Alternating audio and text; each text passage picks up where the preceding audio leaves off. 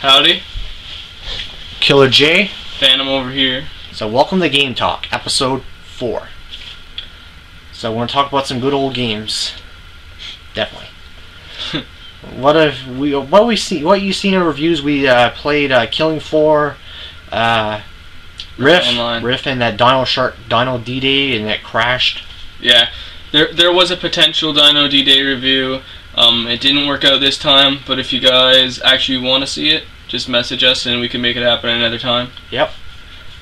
And anyway, uh, what I've been playing lately, I've been playing a lot of Infamous Second Son. I'm enjoying that a lot.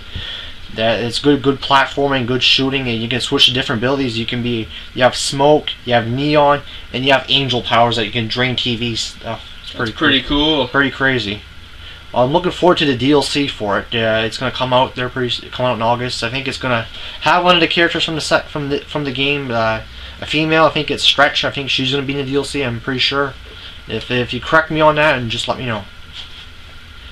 And anyway, uh, what what I uh, what I also played a bit of Wolfenstein. It's pretty fun though, but you know, Yeah, I tried Wolfenstein. I don't know. Uh, I, I had really mixed feelings about it because I kind of liked how it had a classic feel. I mean, like you have your armor rating at the bottom and stuff, and the armor pickup is all helmets all the time. I thought that was kind of funny, just picking up a shit ton of helmets. dog eating dog food pretty much. Yeah, it was. I thought it was pretty funny, but uh, it it kind of didn't live up to my expectations. No. It was kind of lackluster. The graphics weren't as good as it should have been, despite being such a big budget game. Yeah. Same thing with Watch Dogs. That was like Yeah. everyone like gave that like gave that a good score, but Yeah, Watch Dogs is garbage. It it looks nice. It's a really nice looking game. but it's not like a Yeah, it's, it's not a it's not game. it's not like a ten on ten say oh fuck get this game now Yeah. like it's worth sixty nine dollars. It's like, It's not even worth sixty nine cents. if you're gonna try to make an epic game, don't make it all about fetch quests. No, it, no make about fetch quests or majority of it's hacking. Yeah, or make it glitchy. I've seen lots of glitch videos about it. I haven't I haven't played it enough to get any good amount of glitches. I've seen a few, but Quite a bit. Yeah, quite a bit. There's lots of glitches of NPCs doing things they shouldn't, getting you killed half the time, you know, stuff like that. It's like Grand Theft Auto, but not fun. You know what I mean? Yeah. So, Grand Theft Auto 4 by yourself. oh yeah, Grand Theft Auto Five, the definitive edition is gonna come out pretty soon. Yeah, It I does. Know. I've I've seen I've always wanted to play. I haven't I haven't had a chance to play Grand Theft Auto 5 for more than like an hour or two. Because I don't know, I've never owned it. I've just played it with friends. Yeah. But it seems like a really fun game. But they pushed a lot with GTA Yeah. 5 on last gen consoles. That looked beautiful. Like Yeah. they pushed it to its limits. And I mean, it's going to be coming on a PC soon. Definitely. Whenever the defini- well, whenever the definitive edition comes out, it's going to be on PC. So you can imagine all the modders are going to have a fun time with that. Yeah, it's going gonna have pretty have some fun stuff, man. It's Yeah, gonna they're going to put some cool vehicles cool, that. wicked ass stuff and good fun times. Imagine the submarine isn't going to suck.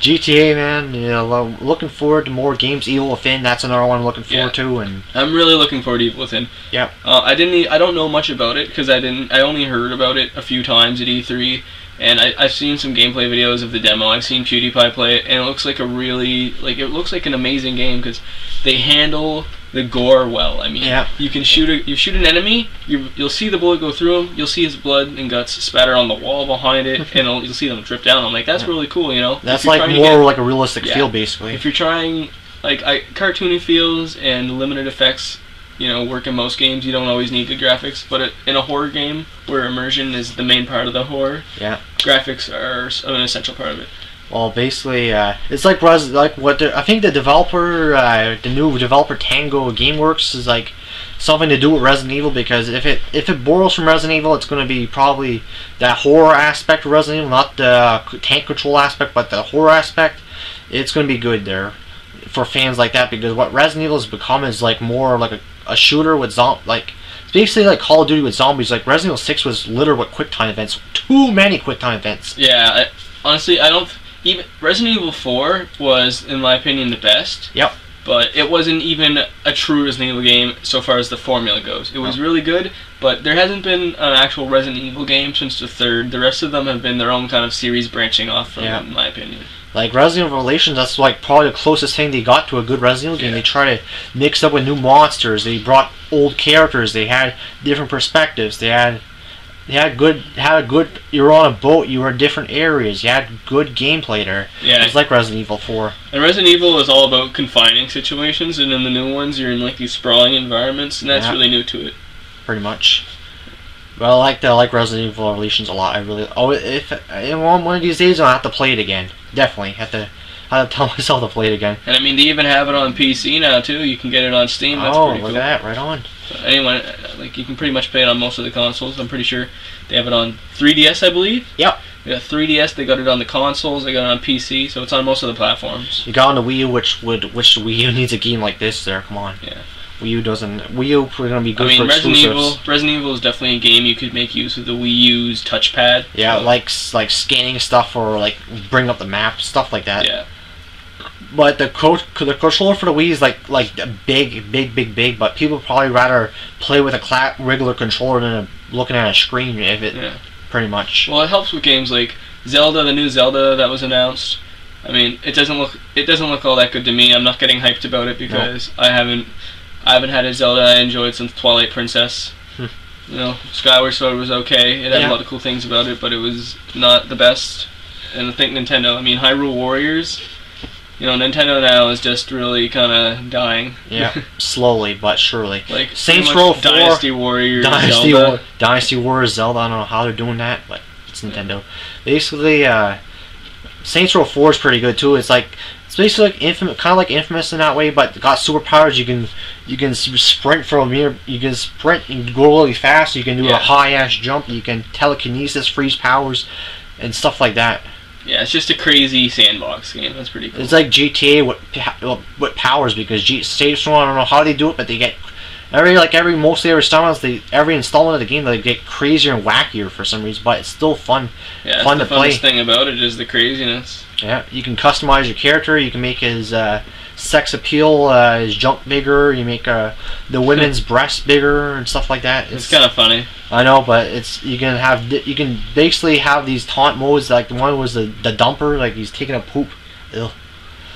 And there's one where like uh, the dumper kind of fucking positions. all that. kinds of crazy weapons too. Yeah, crazy weapons, alien weapons, uh, rifles. Borderlands. Borderlands has a lot of weapons, but Saints Row has cool weapons. Yep, definitely. They're gonna call it Borderlands the pre-sequel, which probably gonna be on. Yeah, that looks that actually looks really cool to me.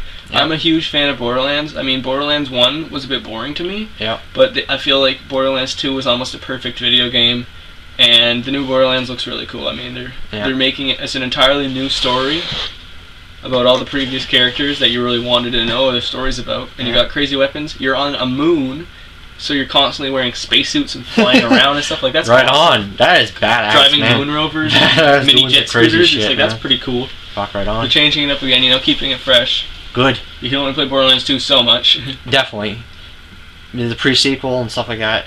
Well, basically, uh, Sniper Elite 3. I played that. There are some bugs in that, but it's still fun. Like you can shoot people in the nutsack, their heads, their hearts, even their livers and stuff like their ne- their necks, everything. It, it, it- you have other weapons in there, basically like like a machine guns and like a pistol, a silenced pistol. But the main good weapon is a sniper rifle. I mean, basically. yeah, Sniper Elite, yeah. You think Yeah. they focus it on the They fo- sniper? focus on the sniper rifle, yes. But story, well, I- I'm gonna have to review that game. Definitely have to have to review it. So, Excellent. Yeah.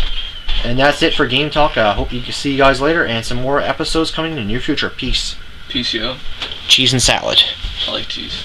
Salad and tacos.